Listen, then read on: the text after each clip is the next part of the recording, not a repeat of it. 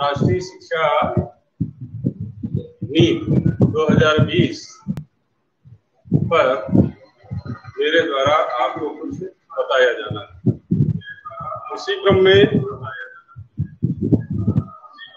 मैं सर्वप्रथम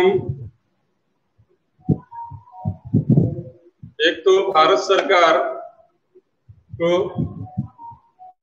और अपने देश के यशस्वी प्रधानमंत्री। श्री नरेंद्र मोदी जी को बहुत बहुत धन्यवाद, साधुवाद ज्ञापित करता हूँ, उनका अभिनंदन करता हूँ कि उन्होंने चौतीस वर्ष बाद यह राष्ट्रीय शिक्षा नीति का प्रारूप तैयार कराया है। वास्तव में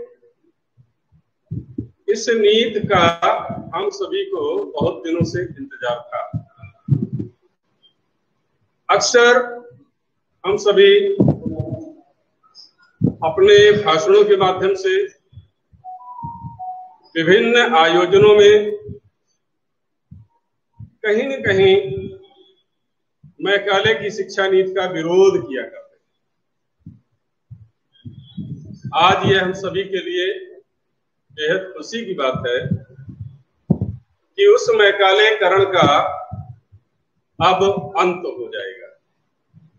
राष्ट्रीय शिक्षा नीति 2020 जो इसरो के डॉक्टर रंगराजन जिसके अध्यक्ष हैं, उनके द्वारा 29 जुलाई 2020 को प्रकाशित की गई। यह नीति क्या है? इससे पहले क्या था? इस पर भी। इसके पूर्व में जो हम शिक्षा ग्रहण करते चले आ रहे थे, वास्तव में उस शिक्षा का बहुत लाभ हम सभी को नहीं मिल रहा था। वह शिक्षा रखने पर आधारित थी। व्यवसायिक लाभ उसका दस परसेंट भी नहीं मिलता था। और यह भी कहा जा सकता है कि ज़बरदस्ती पूछने जैसी शिक्षा थी अब जो शिक्षा प्रणाली डेवलप की गई है, लाई गई है, उस शिक्षा में मुझे पूर्ण विश्वास है कि भारत के स्वर्णिम भविष्य निश्चित रूप से उसमें दिखाई दे रहा है। आप सभी भी समझेंगे। भारत को विश्व गुरु बनाने की जो हम सभी की तमन्ना रहती है,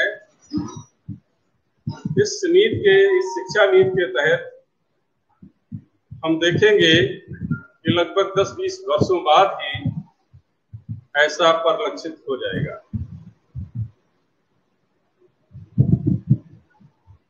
सबसे पहले जब श्रीमती इंदिरा गांधी जी भारत की प्रधानमंत्री थी उन्नीस सौ में तो कोठारी समिति के द्वारा शिक्षा, राष्ट्रीय शिक्षा नीति बनाई गई थी। पहली शिक्षा नीति वो दोबारा राजीव गांधी जी के नेतृत्व में 1986 में पहली उन्नीस अड़सठ में, दूसरी उन्नीस सौ छियासी में, और तीसरी ये शिक्षा नीति जो अब 2020 के नाम से है। ये माननीय अपने जो प्रधानमंत्री जी के नेतृत्व में आई है। बच्चों को क्या चाहिए?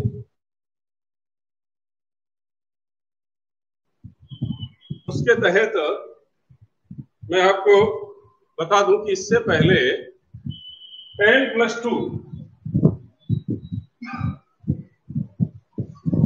का फॉर्मेट